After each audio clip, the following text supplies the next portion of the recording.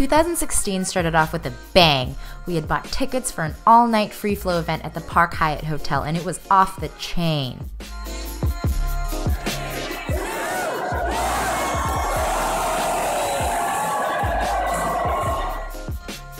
It was my fourth month in Shanghai, and I'd become fast friends with this girl named Elisa. Not only did we work together, but we also lived in the same building and spent all of our time together. Shanghai definitely had its high points. However, my 7 to 7 work schedule was killing me.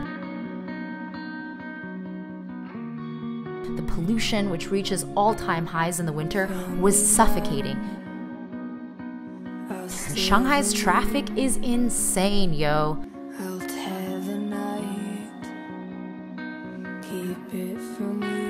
Got rear-ended hardcore. It was like two or three of them back to back. Yeah. The car in front of us stopped. We stopped hella quickly, and then it was just like boom, boom. I was so ready to take a break from both work and Shanghai. Thankfully, in February, my school gave us three weeks of paid vacation. Drew and I planned the perfect getaway. First stop, Seoul. We're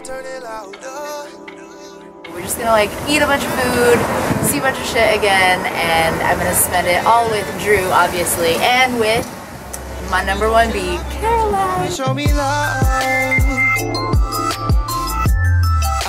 These garlic flakes.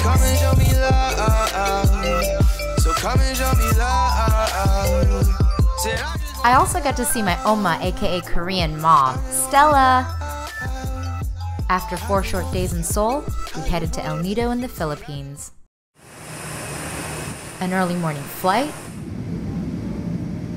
a six hour bumpy van ride later, and we'd made it to paradise. El Nido is certainly charming with its half sleepy village, half tourist trap kind of appeal.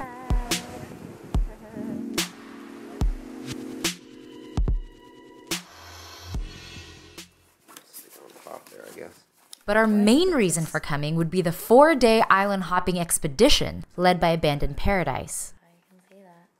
Good morning. Today is the first day of our expedition, and we haven't left yet, but we are about to. It might sound trite to describe a vacation this way, but the expedition was seriously one of the best things I've ever done in my life. Did you see?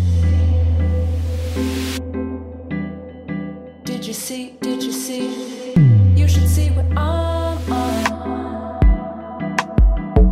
Sailing and snorkeling by day, camping on random islands by night, it was heaven. And a much needed catharsis from my busy Shanghai life. If you want to see more of this video, you can click on a link to the video above.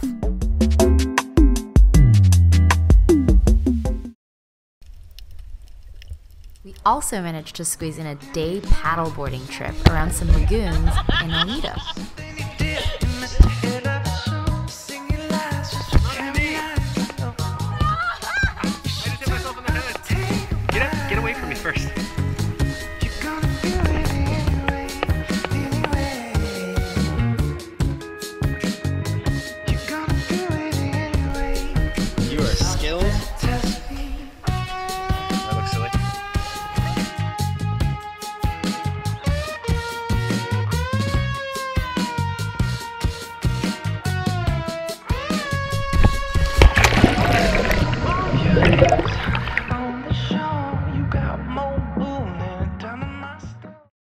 After this vacation, work felt like a breeze, and in March, I was prolific enough to pump out several vlogs about life and work in Shanghai. Check out the links in the description box.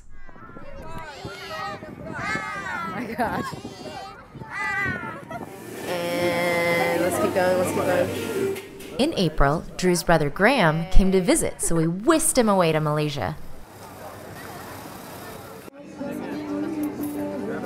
Take take many cameras? Wow, wow, wow. this is always what happens to us. No. Don't feel bad.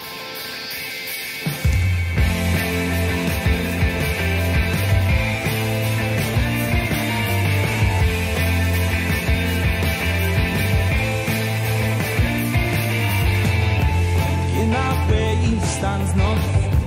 We could do this together, running out in the streets.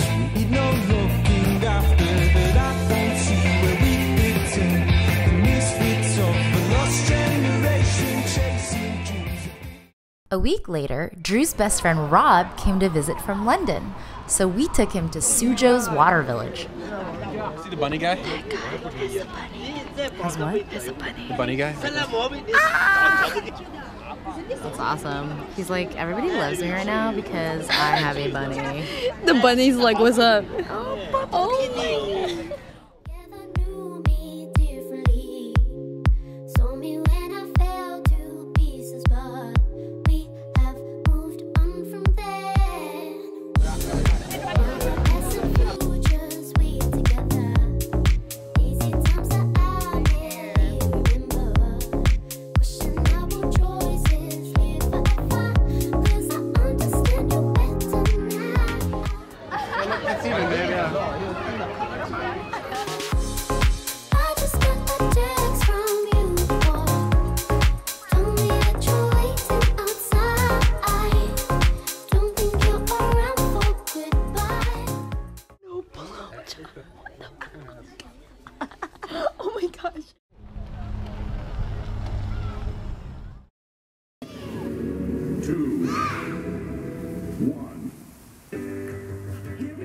May zoomed by. Indulging my homesickness, I briefly visited Seoul for the second time that year. I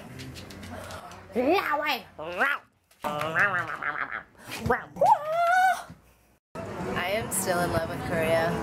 Fuck it. It's awesome. It feels so good. Like this stuff. They're so good at shit like that, like little knickknacks and like themesy things and stuff. they do. They have a lot of like really quirky like little coffee shops or like oh, um, this brings back so many memories. I, I literally spent half of my time in Korea on a bus or on the subway.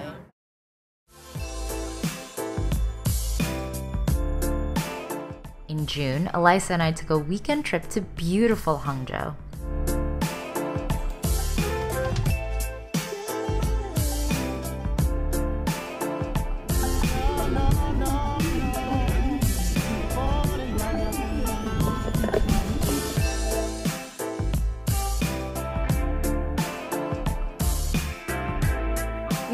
About to be like in a Sierra music video. We're an old Asian lady position.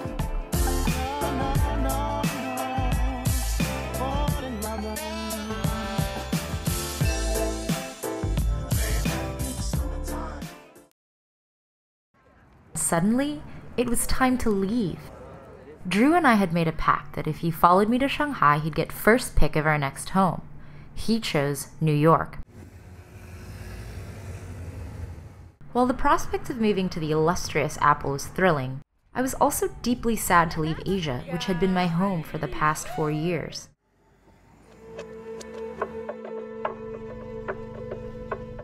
After leaving Shanghai, I embarked on a seven day trip to Siem Reap. There, I attended a meditation retreat at an amazing center called Hariharalaya. I needed time to reconcile with the idea of such a drastic change.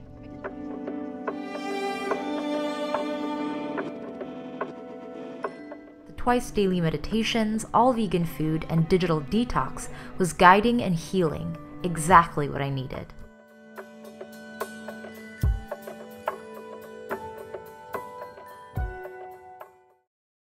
On July 13th, I arrived in New York City. Except for two layovers in Seattle, I hadn't been in the United States for four years. Everything felt at once familiar and foreign. But boy, was it nice to finally live somewhere where I spoke the language and could read all the signs. If you don't get it, maybe once again you bend the front leg. However, I couldn't settle down just yet. First, I had to see my mama in Washington State. We're going hiking. This is my mom. Yeah. She's an avid camper hiker, and we're going to hike around around the Mount Rainier area, right? Um, and we're going to Spray park. we're going to Spray Park.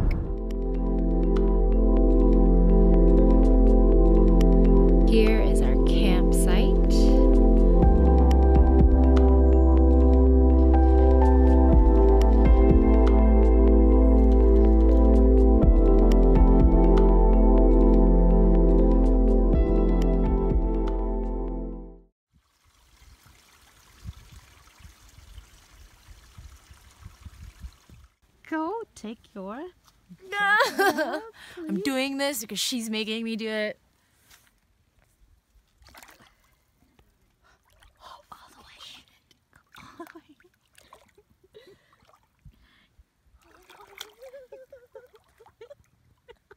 all your body in, and then you're all refreshed.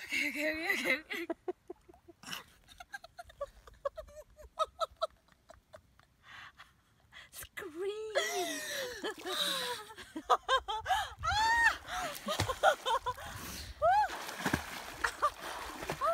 So, you know, I've been back from Cambodia and I just find it really funny because you don't know about that bug life until you've been. I made a face. Yeah, you're so cool, mom. Photobombing me. To apologize, it's too late. It was so nice to catch up with my mom. But after my pilgrimage to Washington, there was one more trip we had to make to Drew's home, Bermuda. Hi, welcome to Bermuda.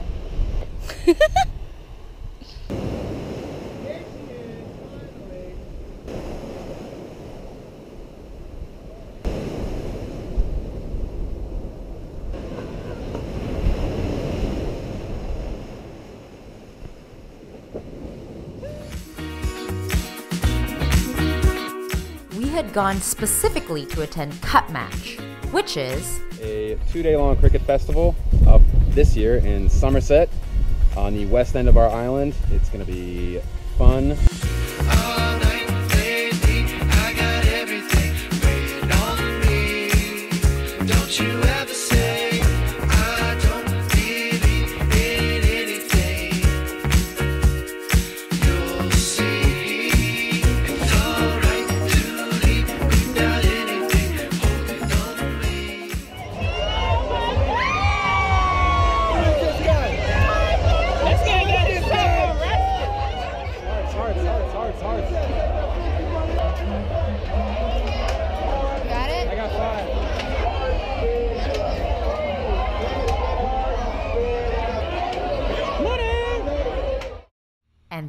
There was the non Mariners race, a giant water party at Mangrove Bay.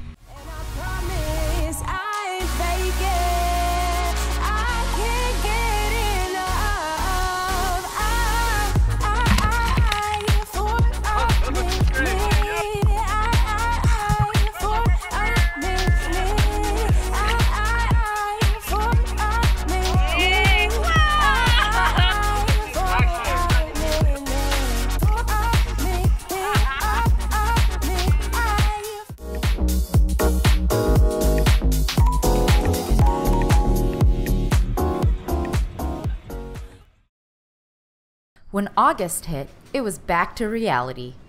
We were on the hunt for a new apartment.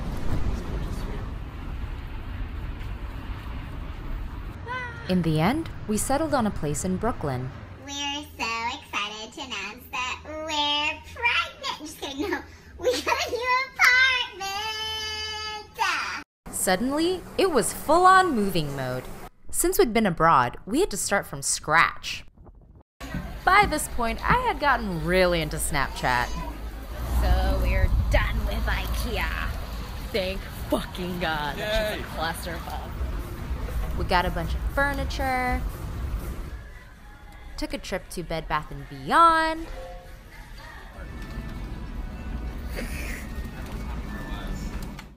Picked up some plants. Installed our internet. And we were set. we finally had our home in New York City. Don't worry, I'll upload an apartment video soon. As intimidating as the move was, I never felt alone. Coincidentally, that year, a few friends from college had also made the big move, so we reconnected over Chinatown dinners. I also made incredible new friends.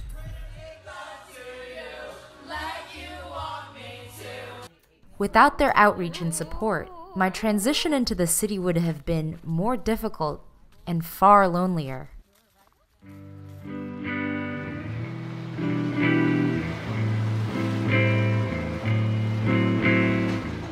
It has been over six months since I've moved back to the States. Hey, so I'm just in the kitchen, Some things have settled. and I'm in the middle of cooking, obviously, because that's what you do in the kitchen, right? Um, while others have not. Like my homesickness for Asia and addiction to travel. But this is a new adventure, and with full gusto, I greet what will come. Above all, I am simply grateful for all that I've experienced in 2016.